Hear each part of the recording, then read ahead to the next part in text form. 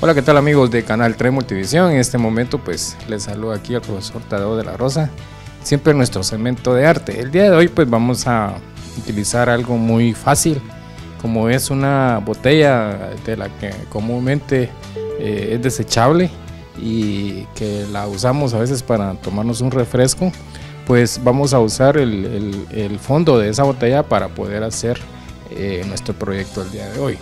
Eh, comenzamos, pues vamos a utilizar también pinturas témperas de diferentes colores para que le podamos dar el efecto deseado a este arbolito que tenemos acá.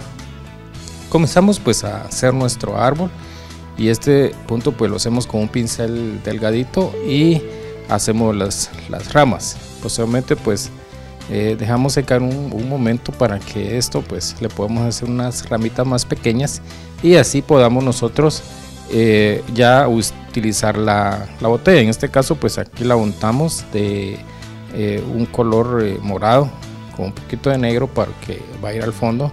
Y después, pues ya venimos y comenzamos como a, imprimir, así como un sello, eh, para que esto le vaya dando la forma de algunas hojas. Eh, normalmente eh, estamos haciendo unas hojas surrealistas, o sea, abstractas en este caso. Posteriormente pues ya venimos y tomamos el color, en este caso es un rosado, y ya venimos y comenzamos a aplicarlo encima de las hojas que hicimos de primero. Normalmente pues esto le va a ir dando la forma, lo que tenemos que buscar nosotros es irle dando la forma de la copa del árbol, que eso también es bastante elemental.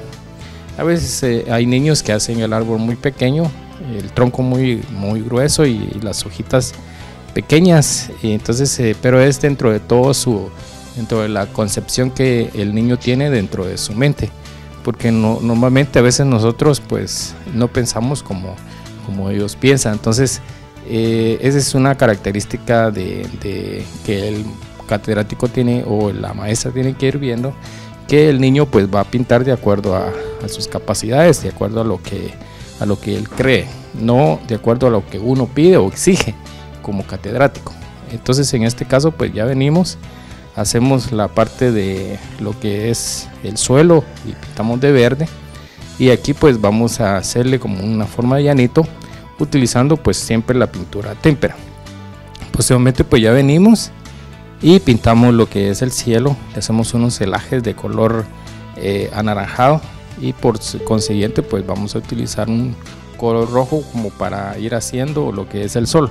Normalmente esto pues lo elaboramos en un proyecto de unos 10-15 minutos porque no es tan complicado hacerlo.